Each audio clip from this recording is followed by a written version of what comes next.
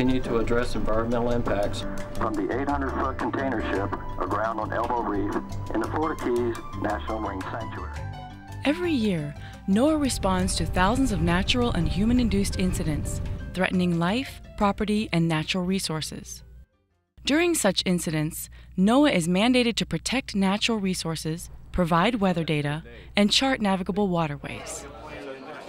To better fulfill this mission, NOAA conducted the first Safe Sanctuaries exercise in April of 2005 to bring together NOAA resources and expertise with other agencies for a hypothetical oil spill in the Florida Keys National Marine Just Sanctuary. Basically, uh, briefly, the situation is, uh, as we know, the MV uh, Portsmouth Trader uh, went aground on the elbow.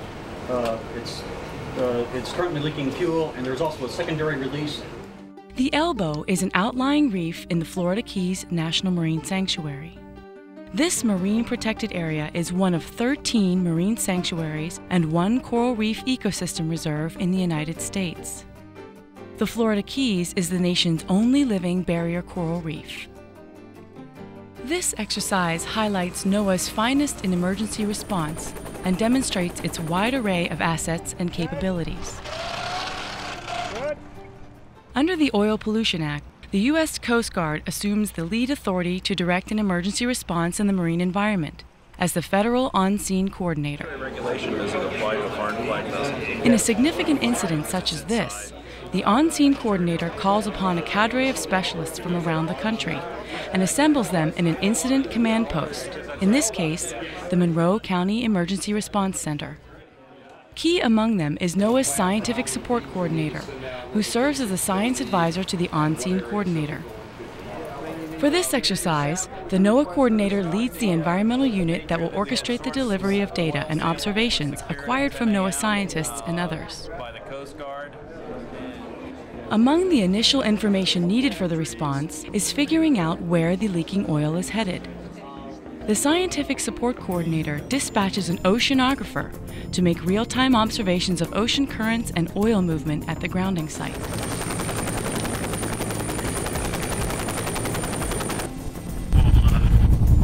know if it's the north end or the south end where you want, you're going to be dropping. She does this by dropping biodegradable dye pellets from the helicopter and photographs the dispersal of the dye.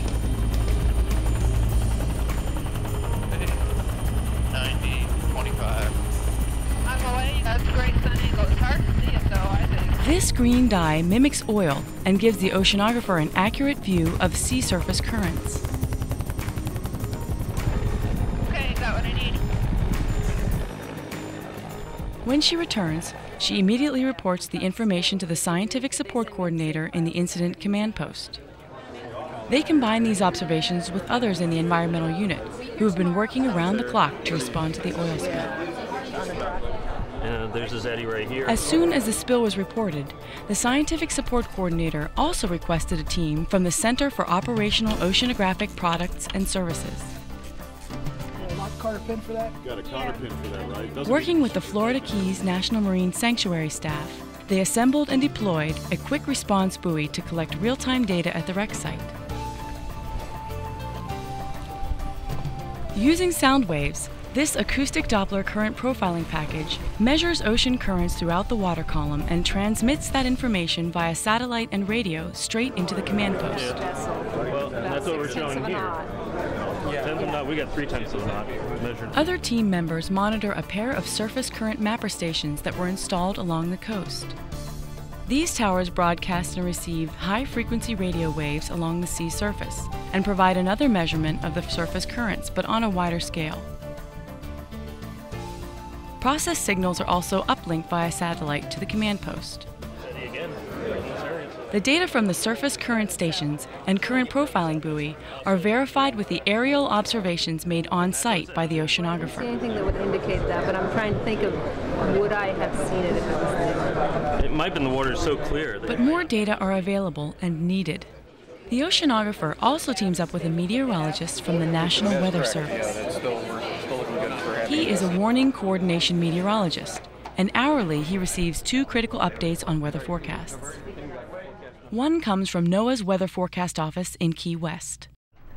Unlike yesterday with the true east direction that we might have expected, it looks like uh, the models are indicating that it might be more of an east-northeast by uh, early afternoon hours. These are the local experts who understand the daily weather patterns in the Florida Keys and can make the most sense out of the information coming from NOAA satellites, radar, and their own observations. During a sensitive event such as an oil spill, the Key West office also dispatches an incident meteorologist dedicated to monitoring the weather specifically on the wreck site. With assistance from the sanctuary, the incident meteorologist installed a real time monitoring system on the nearest accessible platform to the grounding site. This instrument transmits real time observations of wind speed, wind direction, and temperature back to a small satellite dish that was set up in the Field Operations Center in Key Largo. With the most current data and frequent observations, the incident meteorologist prepares the second source of updates for the warning coordination meteorologist in the command post. I have a uh, forecast here ready to go. That's what I was just coordinating with the um, with your office there, and I can go ahead and send that to you in the next 10-15 minutes. Integrating all the field data, the meteorologist presents the most current forecast back to the environmental unit. With all the real time information now in hand, the Scientific Support Coordinator and Oceanographer contact NOAA's Scientific Support Team in Seattle, Washington. Hey, Tom. This is Debbie and Brad and Matt here. Hey there. Hey there. Hey, Bushy. Mark Miller, CJ, and Bushy here on the War. At the vessel site, we did a dye drop, and the currents were about six tenths, seven tenths of a knot to the north. The team in Seattle will now work quickly to compile all the available data in computer programs and build a trajectory model for where the oil is expected to go. At least twice per day, the Seattle team updates the trajectory model. This critical information is faxed to the command post and delivered immediately to the scientific support coordinator. Whenever there is new information available, the scientific support coordinator and other NOAA specialists brief the Unified Command. The Unified Command is the lead group in the command post, composed of the sanctuary manager, the state and federal on scene coordinators, and the responsible party for the ship grounding. The Unified Command and the Planning Unit will use the latest trajectory model and other information to best direct the course of field operations for the response. The Planning Unit calls in NOAA's Navigation Response Team. The reef bottom surrounding the wreck site is variable and difficult to navigate, especially for large vessels. So the Navigation Response Team uses a sophisticated side scan sonar that creates real time high resolution images of the sea floor. After mapping several transects, the strips are mosaicked together into a map. The map can then be coupled with marine charts and enables the planning unit to develop a salvage plan that will be the least disruptive to the sanctuary's sensitive environment. As information on the oil's fate becomes clearer, the Scientific Support Coordinator prepares shoreline characterization and assessment teams to evaluate shoreline impacts. These assessment teams include members from state and federal agencies and the responsible party, some of whom have never measured effects of an oil spill before. Gasoline, To standardize the assessment team efforts, NOAA runs training for the team members before they go into the field. Given the potential spill trajectories, the Scientific Support Coordinator deploys teams on two locations along Key Largo's eastern shore. They specifically record percent cover of oil on affected beaches and wildlife that has been oiled, such as seabirds or turtles. Returning to the command post, the assessment team leader presents the team findings to the environmental The unit. northernmost area is where we saw the heaviest hit by oil, and it was along. Also on scene is one of NOAA's natural resource damage assessment teams. This team collaborates with other groups from the Department of the Interior and State of Florida to work most effectively with the responsible party. This damage assessment team sends out assessment experts and sanctuary divers. They gather information on the natural and cultural resources that were harmed and at risk from the ship grounding and oil spill. Historical and cultural resources impart important knowledge of maritime history in the region. In this incident, the Portsmouth trader ran aground on a 1917 wreck, the City of Washington. Uh, due to the oil spill, we were only able to assess the injury to the uh, anchor damage that, that occurred, and we found two anchor scars. A marine archaeologist from the sanctuary evaluates the injury to the city of Washington as it represents a significant historic site and is listed on the Florida Keys Shipwreck Trail.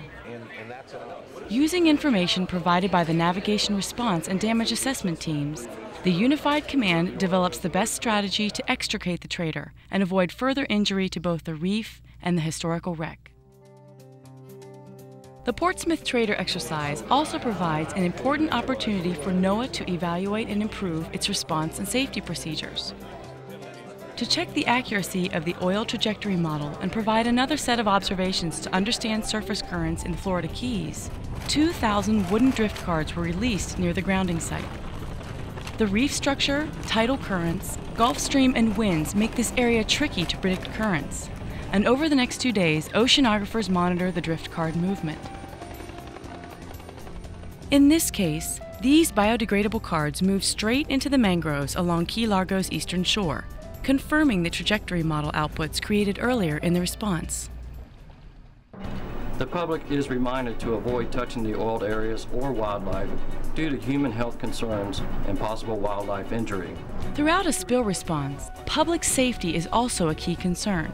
NOAA sends out an all hazards radio broadcast warning people of natural and man made disasters. The Safe Sanctuaries exercise and real groundings like it represent continuing risks to our coral reefs, shorelines, and marine resources.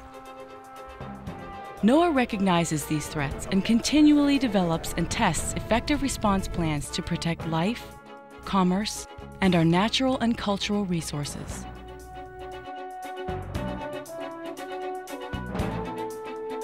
It's never going to come out good. I mean, it's, it's always bad because somebody loses, but it can come out better if everybody's working together.